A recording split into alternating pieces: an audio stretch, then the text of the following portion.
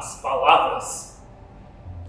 Tive de as engolir com amargura e aceitá-las como pesadelo, como fato consumado.